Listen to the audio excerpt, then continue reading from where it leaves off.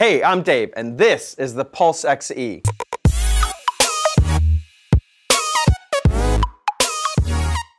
Are you ready to start printing with advanced materials like Nylon X? We got you covered.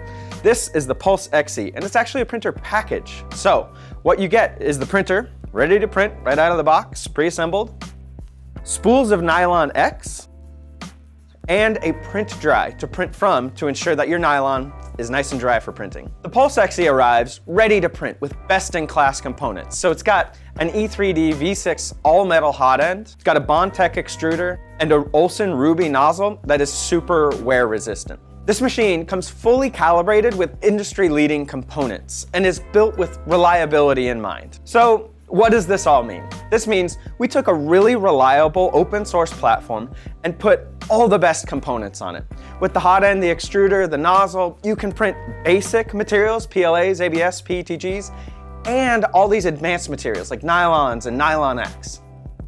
When you're able to print with the strongest materials, you're able to create functional parts that are ready to use, like this, using Nylon X. Nylon X is this magical material that takes all the best properties of nylon, something that's really rugged and built for strength, has got great layer adhesion, and mixes that with carbon fiber, something that adds quite a bit of stiffness.